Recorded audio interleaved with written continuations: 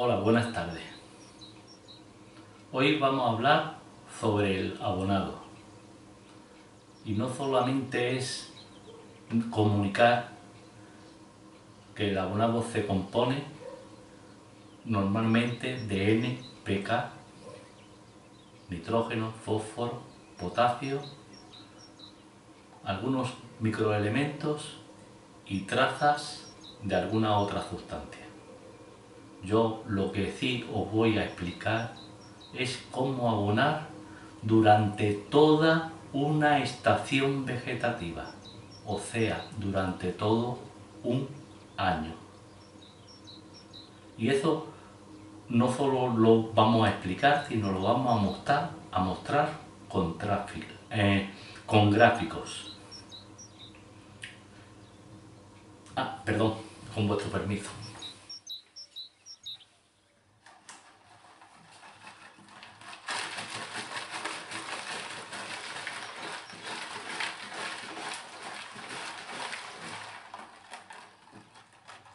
que tenía que agitar esta garrafa que más adelante explicaremos el cómo y el por qué. Bueno, pues como íbamos diciendo sobre el abonado. A continuación voy a colocar unas fotografías sobre diferentes tipos de abono y más adelante pondré el abonado que yo utilizo.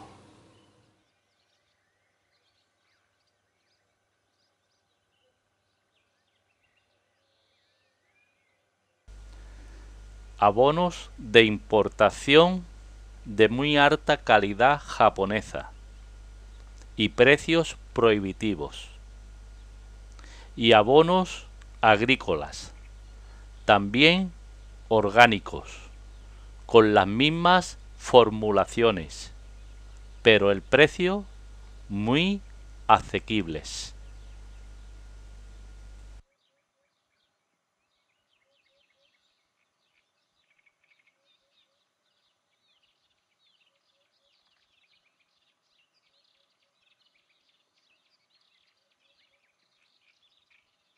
Pues sobre todo en el abono, el éxito del cultivo del bonsái en maceta no puede prescindir de una buena fertilización, destinado a proporcionar a los bonsái los nutrientes adecuados en el momento adecuado y no cuando nosotros deseemos. Durante su crecimiento de abonado tanto la fertilización tiene como objetivo principal la salud del bonsái y un crecimiento equilibrado. Equilibrado en el tiempo y año tras año. Porque recordar que cultivar un bonsái es cultivar un ser vivo. Cultivar y tratar un bonsái requiere un tipo de abonado. Otra cosa diferente sería un abonado específico para engrosar ramas, alargar ramas, etcétera, etcétera. Pero ya cuando el tema ya hablamos de, de propiamente dicho, el abonado ha de ser no solo suficiente, pero al mismo tiempo escueto y con las necesidades alimentar, alimentarias para el ejemplar.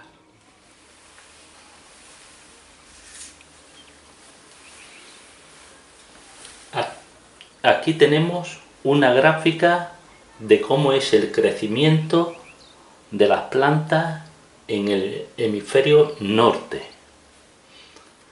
Vemos cómo se inicia la subida a comienzo de marzo no obstante, diré que el crecimiento en las raíces suele empezar unos 15 días antes. Como el vigor de las plantas en el hemisferio norte, vuelvo a recordar, en el hemisferio sur había que retrasar seis meses. Como el vigor se va elevando y después llega a una parte estable de crecimiento para en el inicio del mes de junio empieza a descender. Va descendiendo durante todo el mes de julio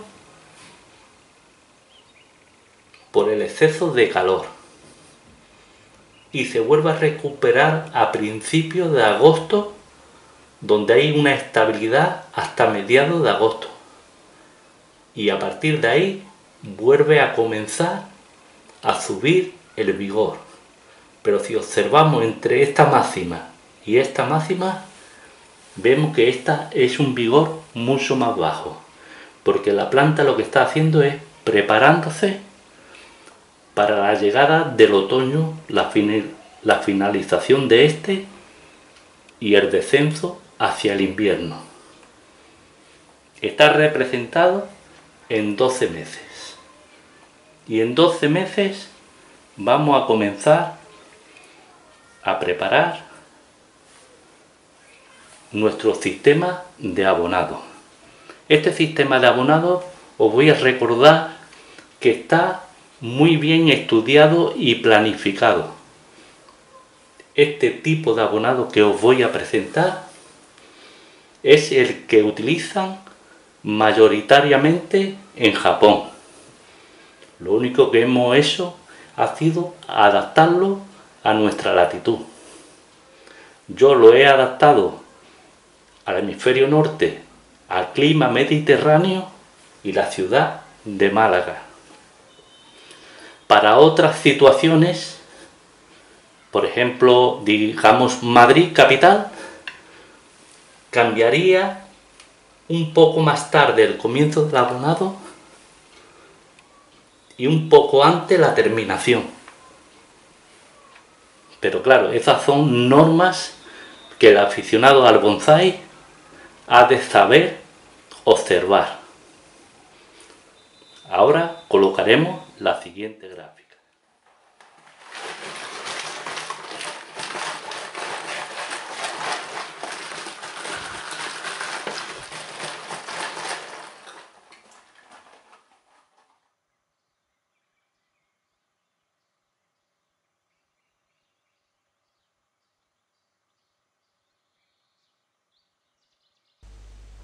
En enero solo necesitamos suavizar o neutralizar el terreno utilizando cenizas en maceración. Yo personalmente en este primer mes del año utilizaremos la ceniza de madera con las siguientes dosis. 6 cucharadas de ceniza que mezclaremos en 5 litros de agua y se deja macerar durante dos o tres días, agitando el contenido regularmente. La forma de usar, una vez decantado el contenido, lo pasaremos por un tamiz o colador para no atorar la regadera o pulverizador. Regaremos el contenido nuestros bonsáis que repetiremos durante dos semanas.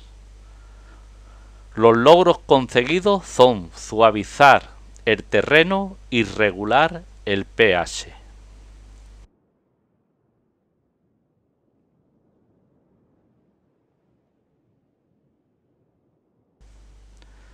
A mediados de marzo es demasiado pronto para iniciar el abonado con nitrógeno, fósforo y potasio.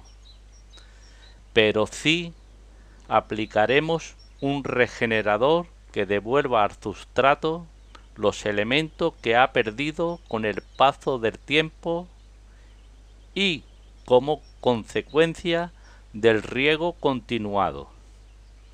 Este regenerador debe de contener una harta enmienda orgánica de ácidos húmicos. Los microelementos como el calcio, el hierro, el manganeso, el magnesio, el boro, el zinc, cobalto, el cobre, etc.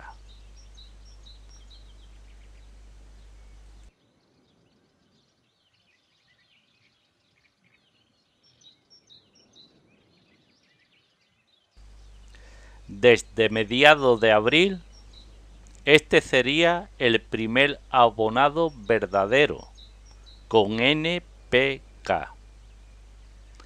En este periodo, ya que todas las especies han desarrollado completamente las hojas y agotado las reservas nutritivas que poseían del año anterior. Este primer abonado nutre a la planta, aumentando el turgor en las hojas y vigor en el crecimiento. Este abonado lo realizaremos hasta primero de junio con la última dosis.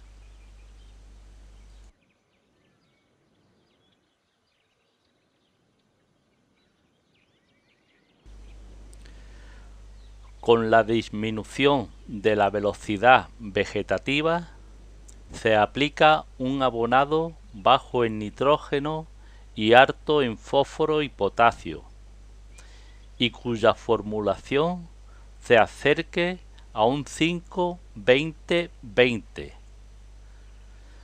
Estas dosis la aplicaremos los días, el día 20 y 30 de junio más un regenerador, vitaminas B1 y B12, microelementos quelatados, adecuado para sustentar el estrés consiguiente con los pinzados. Los bonsai todavía están bajo los efectos del abono de mayo y nos marcarán las diferencias de yemas a flor.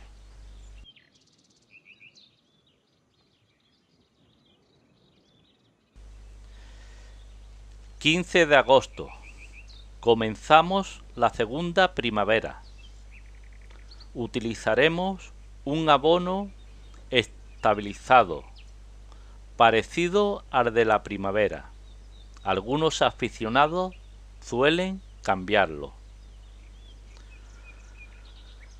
Se reanuda la actividad vegetativa. Debemos aportar también ácidos húmicos harto. Productos y dosis son idénticos al abonado de mediados de abril.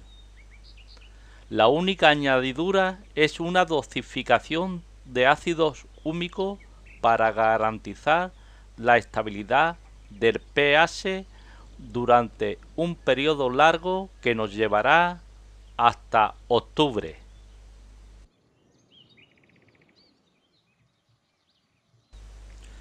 A mediados de octubre se inicia la fase de lignificación, modificaciones del metabolismo.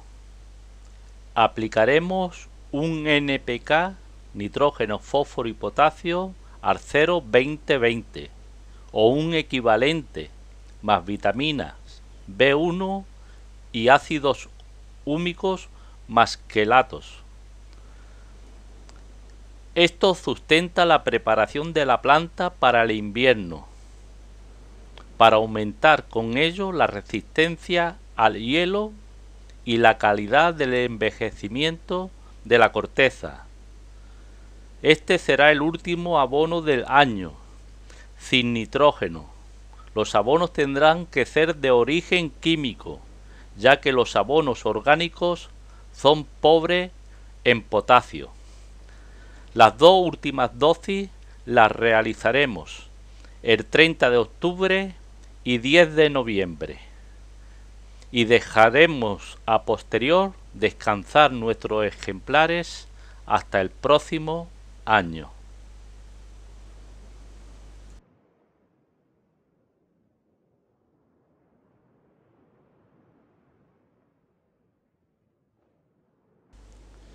este abono líquido orgánico con un NPK 4, 6 y 8 es el que yo suelo utilizar en la fase primaveral y la diferencia con los orgánicos de liberación lenta es que al ser líquido es absorbido por la planta inmediatamente.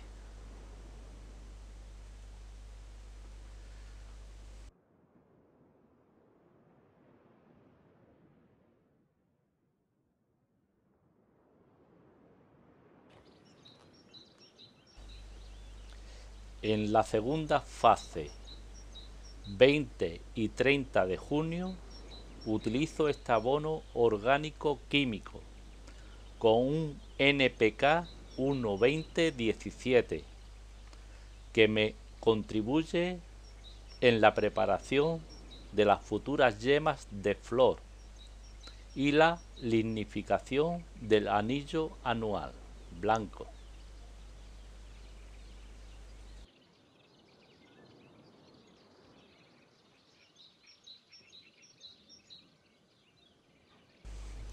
Al comienzo de la segunda fase, con un crecimiento más estable que el vigor primaveral, el abono líquido orgánico que utilizo es un NPK 335.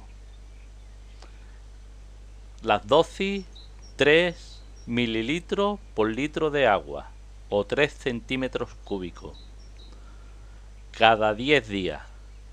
El fabricante recomienda que se utilice semanalmente.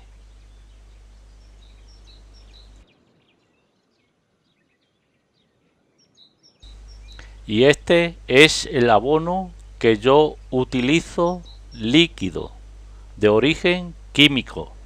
Es un NPK 02020 para la preparación del invierno y sustentar el estrés del hielo.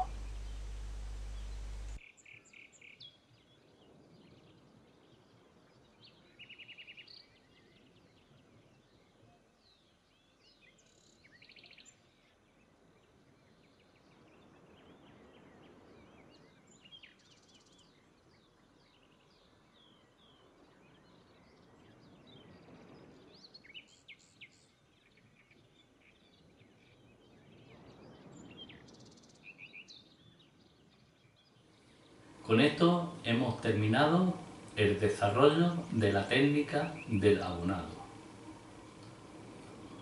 Voy a, recordar de que el abonado, el sustrato y el riego está muy entrelazado entre ellos.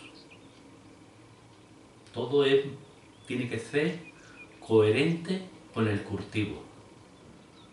Podremos aplicar más cantidad o menos cantidad de abono. Pero siempre debemos de respetar las fechas. Porque si abonamos como he explicado, siempre tendremos éxitos. Y aquí está la prueba de ello. Un pequeño bosque de olmos liliputiense con una superramificación fina. Si empleamos determinados abonos fuera de lo, del contexto que he explicado anteriormente, los éxitos se pueden volver fracasos. Por eso, recordar, en los vídeos habéis visto cómo suelo yo preparar el terreno. ¿Qué tipo de terreno utilizo? Muchos de vosotros me preguntáis que dónde está la materia orgánica, es decir, la turba, el mantillo, etc. No, en mi sustrato no hay esas cosas, porque yo siempre todo eso lo aporto por encima, es decir, por abonado. Y el río el, río siempre ha de ser generoso. pero a su vez el sustrato tiene que tener el suficiente drenaje para evacuar los excesos. Este tipo de abonado que he explicado, esta tabla que os, he contado, va siempre perfectamente para lo que es bonsai, planta leñosa. Para mis amigos de las portulacarias les diré que siempre hay que utilizar un abono más bajo en nitrógeno que fósforo y potasio. Siempre menos nitrógeno. Por ello siempre os he recomendado que utilicéis los abonos especial cactus o suculenta. Veréis en la composición de que el, nitrógeno siempre es de inferior. Su número es inferior al fósforo y el potasio. Y, y, como suele ser mayormente casi un abono químico, lo que sí tenéis que reducir es la cantidad. Si el fabricante dice un tapón por 5 litros de agua, ustedes recordar medio tapón en 5 litros de agua o un tapón en 10 litros de agua. Bueno, pues antes de despedirme, os quiero saludar a todos y ya tenéis una herramienta más en vuestras manos, el abonado. Un saludo.